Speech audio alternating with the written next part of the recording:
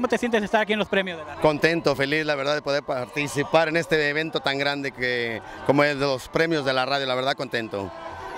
Este, ¿cómo, cuéntame, ¿cómo va tu disco? Ya sé que lo sacaste, ¿cómo, cómo, cómo va eso? Pues mira, en sí todavía no sale, sale en un par de semanas. En un par de semanas ya sale el disco para reconquistarte y pues contentísimo y con muchas ganas y con muchos planes para poderle dar a la gente algo nuevo en música. En mi aspecto, porque yo nunca había cantado norteño banda y esto es algo nuevo. Oye, por ahí vimos que estás presentando, haciendo presentaciones con tu hermano Gerardo. ¿Cómo fue esa experiencia a ver, allá- por allá en México?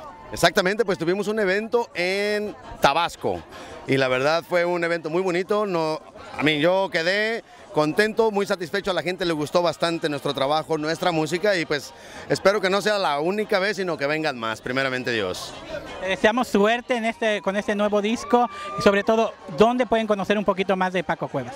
Pues nos pueden encontrar en el Twitter, que es Paquito Cuevas, en el Twitter y en el Facebook, que es Paco Cuevas. Ahí nos pueden encontrar, ahí van a encontrar todo lo nuevo y todas las nuevas cosas que vienen con nuestra carrera y con el disco nuevo, primeramente Dios. ¿Planeas sacar o, o viene en este disco Mamá Soy Paquito? No, sabes que me lo han comentado y estaría bien hacer la nueva versión ya ahora de grande, ¿no? De Mamá Soy Paquito. Nah, me gustaría, pero la verdad ah, yo pienso que Mamá Soy Paquito de ese tiempo es lo que se quedó. Le tengo un amor grandísimo y yo pienso que la gente igual. La cantaría en vivo con muchísimo gusto, pero no creo grabarla otra vez. Un pedacito. Un pedacito, mamá soy Paquito. Qué bien que me acuerdo la tarde de lluvias, las velas grandotas que olían a cura.